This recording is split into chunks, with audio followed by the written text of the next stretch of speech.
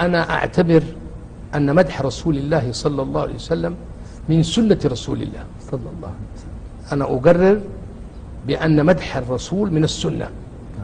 داخل في إطار مفهوم السنة.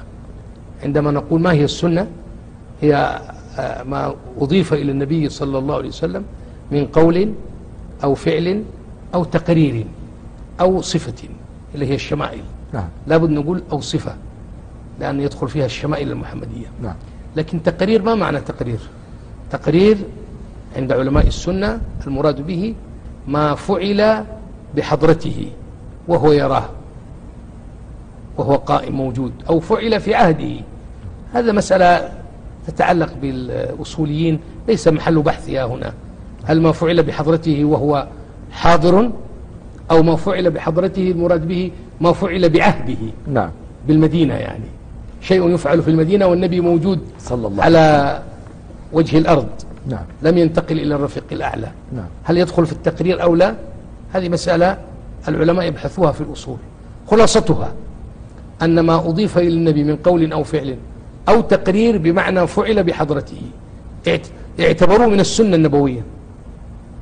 وهؤلاء الصحابة الذين مدحوه هو يسمع بل ويبتسم بل ويفرح بل ويثيبهم ويخلع عليهم بردته. هذا الذي أنشد بين يديه. بانت سعاد فقلبي اليوم متبول. متيم إثرها لم يفد مكبول وما سعاد غداة البين إذ رحلوا. كعب لما أنشد هذه القصيدة. نعم. النبي أخذ البردة وخلعها عليه. وهي البردة الحقيقية. ليست البردة التي هي مشهورة الآن من تذكر جيران بذي سلم. نعم. هذه بردة منامية. نعم. سميت بالبردة وهي في الحقيقة البرأة.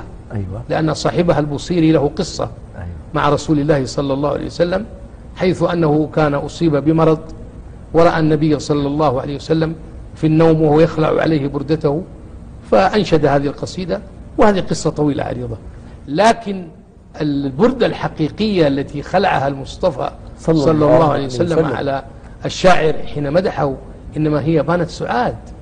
فهذه القص- بانت سعاد هي البردة. ما معنى أن النبي يأخذ بردته ويخلعها على هذا الشاعر؟ نعم. سرور بما فعله. فرح بما قاله.